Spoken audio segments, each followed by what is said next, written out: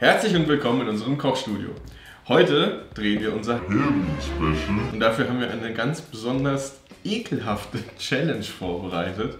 Und zwar haben wir 20 Zutaten, von denen jeder 10 ziehen darf und jemanden einen ganz ekelhaften Schokokub zubereiten darf. Ich habe schon richtig Freude darauf. Es bleibt gar nicht die Möglichkeit, irgendwas Gutes daraus zu machen. Es besteht nicht die Möglichkeit, dass da irgendwas Gutes raus wird. Die Regeln sind, dass jeder 10 Zutaten für sich zieht, die dann der andere für ihn zubereiten darf. Dabei darf auch keine Zutat ausgelassen werden und es darf die komplette, der komplette Inhalt eines Gefäßes benutzt werden, zum Beispiel auch das Gurkenwasser oder der Thunfischsaft. Fabian, wollen Sie zum Ziehen herumkommen? Eigentlich nicht so, aber mal schauen, auf was ich mich hier eingelassen habe. Oh, Eierlikör. Fängt schon mal gut an. Ich habe die Salzheringe. Oh, Meerrettich. Oh, das wird eine leckere Soße geben, du Liebstöckel. Knoblauch. Wird immer besser. Das ist schön, den wollte ich zubereiten. Thunfisch. Oh nein. oh, das Mett habe ich auch noch. Ja, perfekt. Äh, ich habe die Sprühse. Oh, die Petersilie, das hast du schon mal nicht. Ja, das ist schon mal schön. Ich habe die Götterspeise. Damit kann ich leben, die mag ich gern. Ja? Nicht in der Verbindung, aber ja. Ingwer. Oh, magst du auch ganz gern, mhm. ne? Tabasco. Fruchtzwerg. Ach du Scheiße. Ich habe das Nutella. Gurke. Ja, das ist auch okay. Ich habe die Pilze. Gott sei Dank, das Einzige, was ich nicht haben wollte. Der Käse, der Schmelzkäse, ne? Mm. Ich habe den Harzer Käse. Wir hatten jetzt kurz Überlegzeit und haben uns so ein bisschen was überlegt, was wir machen könnten und haben uns auch schon mal die Zutaten aufgemacht. Wie fängst du an? Wie fange ich denn an? Ich werde vielleicht den Harzer, Käse, jetzt erst den Harzer Käse einschmelzen mit den Salzheringen und gucken, was dabei rauskommt. Ich nehme das von dem Meerrettich mit, mit dem Marshmallow-Creme.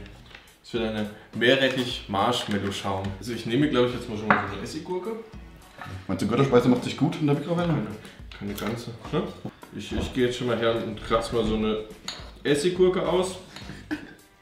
So ein bisschen vorbereiten. Mmh, Essiggurke. Oh ja, das sieht sehr lecker aus. Sag ich mal her. Das sieht ja sehr lecker aus. mmh. Alter, das stinkt noch. Fabian, möchtest du gerne den Bananenfruchtzwerge? Banane? Ja. ja. Der kommt nämlich als erstes mit ins Met. Ich muss das jetzt irgendwie dickflüssig kriegen, ne? Das heißt, da kommt ein bisschen Nutella rein.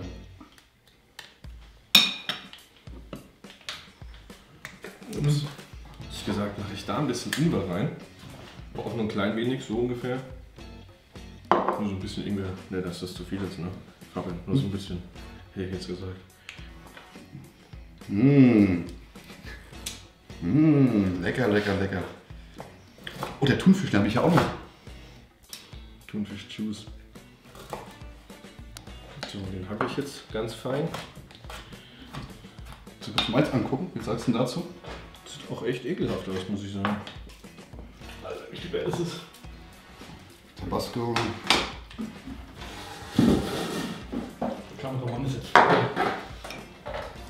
Als nächstes, glaube ich, schmier ich ein bisschen von der Meerrettichcreme. Da muss viel mehr Käse rein, damit das ein bisschen dickflüssiger wird. Das ist das ganze Problem an der Sache. Darf ich mal sagt so wenig? Ja, ich bin gerade echt vertieft in die Arbeit, weil das ist auch echt sehr kompliziert. Also ich finde, der Fabian hat die leichteren Zutaten, aber die Zutaten, die der Fabian hat, die sind, haben, haben alle so eine, so eine ganz okay Konsistenz. Die sind alle flüssig so. Und die Zutaten, die ich habe, die sind halt echt ekelhaft. Ah, jetzt wird's auch gut. Schon gesät. Das wird eine kleine Überraschung. Du manchst da schon wieder alles rum, ey. Was? Das ist eine schöne Mettmaus. Ich möchte dir so eine schöne Creme machen. So eine Schokocreme. Passt perfekt ja. zu einem Schokocups dann. So, und dann mache ich jetzt noch so eine Süßchen für den Fabian dazu. Wird immer besser, guck mal. Hm? Das wird jetzt noch so ein kleines Söschen für den Fabian. Da mache ich dann hier noch ein bisschen Meerrettich rein. Da wird ein bisschen mehr flüssig, oder? Von dem leckeren Eierlikör rein. So. Brauche ich nicht mehr. Ach, den Pilz habe ich ja auch noch. Wo habe ich jetzt den Löffel für? Genau. So, das kommen wir zum Thunfisch. Aber ich brauche nur den Saft eigentlich. Erstmal ein bisschen Essiggurkensaft.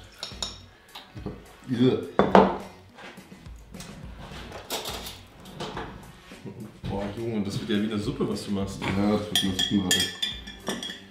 Ich gehe jetzt nochmal hier unten und nehme so ein paar Senfkörner und so einen Scheiß raus. Das ist so Essiggurkenglas. Na komm.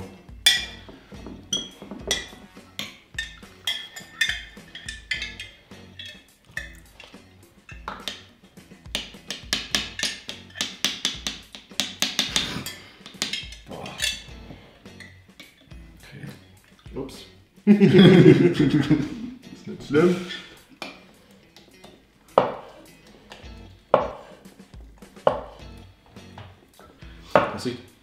Eigentlich nur noch mehr. Ja. Alter, das stinkt hier. Boah. Widerlich. Was fehlt denn jetzt noch? Die Sahne, das probiere ich noch zu. Ich will das noch ein bisschen cremig schlagen am Ende. Hast du noch so eine Schale für mich? Äh, mach da. Da? Die darf ich nehmen. Ich muss jetzt eine Creme draus machen. Ich rühre jetzt nochmal, damit es ein bisschen schaumig wird, ein bisschen von dem Marshmallow-Creme runter.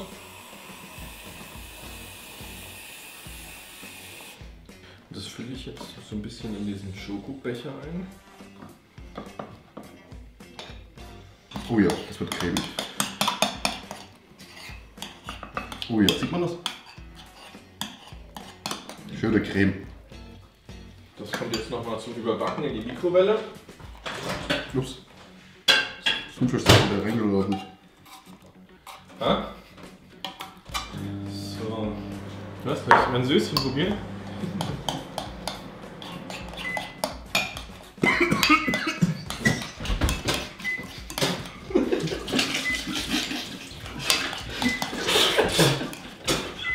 Oh ja, das ist richtig schön überbacken.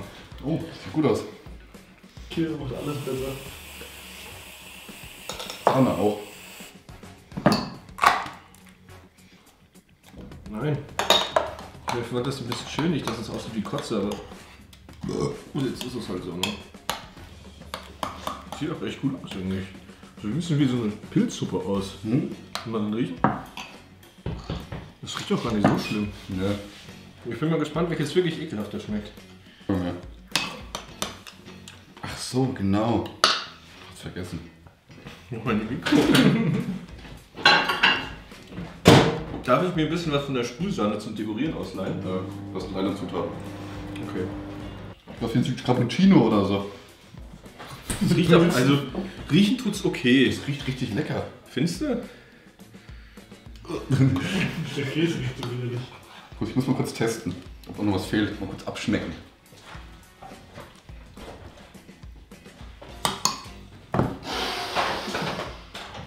Wir richten jetzt an. Ja. Fang du an. Ich fange an? Ja. Mit Anrichten? Okay. Mhm. Wie nennst du das, was das Das ist? ist eine ganz leckere Thunfischcreme auf Harzer Käsebasis mit Pilzen. Und Götterspeise und Nutella. Und Nutella. Und sieht auf jeden Fall sehr lecker aus. Hat auch eine geile Konsistenz bekommen. Das stinkt wie Scheiße. Sieht man das? Sieht man das? Sieht man das? Ja, sieht man. Okay. Dann richten wir das Ganze jetzt mal an. Ups, von daneben. Das will gar nicht vom Löffel runter. Kennst du das, wenn du so Halbdurchfall hast? Oh ja. Oh ja. Da kommt natürlich immer noch ein bisschen Lakritze und ein wenig Pilz mit rein. Ein bisschen Lakritz und ein bisschen Pilz. Genau. Dann füllen wir das Ganze jetzt noch auf mit der leckeren Creme. So, komm. Da rein. Oh ja, schönes Stückchen Thunfisch. Das Ganze dekoriert. Mit was ist das? Liebstock, ne? Liebstück, ja. So, hier. Oh ja, jetzt sieht richtig lecker aus. Guck mal. Das ist ein Das Pilz. arbeitet. Guck mal, das, oh ja, das sieht ja richtig hübsch aus. Oder? Freust du dich schon drauf? Ja, bestimmt. Gut. Was hast du denn Schönes gemacht? Also ich habe hier eine Marshmallow-Creme. Die werde ich unten in meinen Becher einfüllen. Was ist denn da für ein Stock da drin? Das, der kommt auch noch mit rein. Das sind noch so Sachen aus dem Gurkenglas, die unten drin waren. Rastill oder irgendein Rotz, ne? Ja. Dann kommt eine Käsekrokant-Essiggurke rein.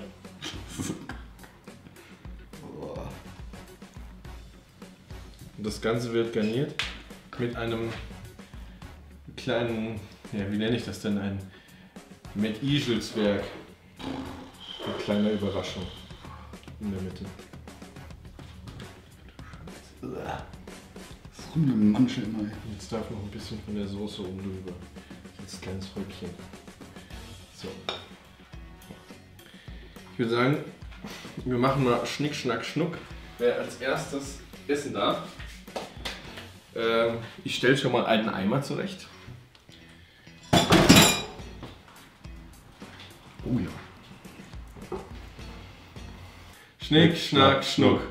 Okay, ich darf zuerst. Du darfst ja aussuchen, ob du zuerst Du möchtest. darfst anfangen. Natürlich. Okay, natürlich, super. Meine wundervolle Kreation. Hoffentlich schmeckt's dir. Das riecht doch gar nicht so schlimm. Machst, nee, nee, nee, das ist hinter dran, das bleibt auch dran. Okay. Ja, super. Ja.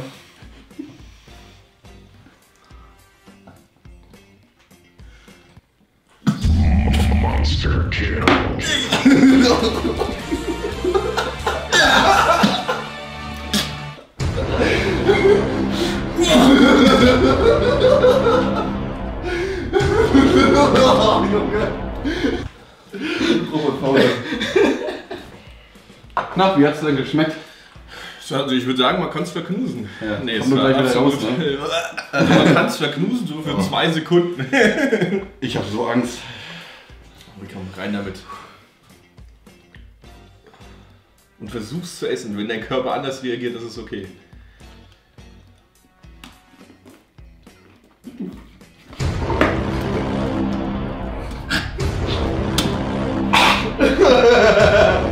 Und wie war's? Lecker. Ja, lecker. Ich brauche was zu trinken. So, wie hat dir denn mein Becher geschmeckt, die wundervolle Thunfischcreme? Ja, also es war wirklich, ich habe es in den Mund genommen. Und dann hat sich erstmal ein Liebstöckler-Aroma verbreitet in meinem ganzen Mund. Und dann hat dieser Becher, ist halt so richtig schön geknackt und hat, ist, dann ist diese Thunfischcreme, die war so richtig cremig. Thunfisch, Liest dann auch-. So auf meine Zunge und das hat dann automatisch einen Brechreiz ausgelöst. Eine Geschmacksexplosion. Das nennt man ganz tief unten raus. Das ist das, was man Geschmacksexplosion nennt. Oh, Und wie steht's denn Mann. um meinen Becher? Ich muss sagen, schmeckt besser als das, was du sonst kostet. Also ich würde sagen, du hast die Challenge gewonnen, ja. Und äh, mich würde mal interessieren, was ihr mit diesen Zutaten ekelhaftes gekocht hättet. Schreibt in die Kommentare. Und ich hoffe, euch hat das Video gefallen und ihr schaltet beim nächsten Mal wieder ein. Ciao. Weg.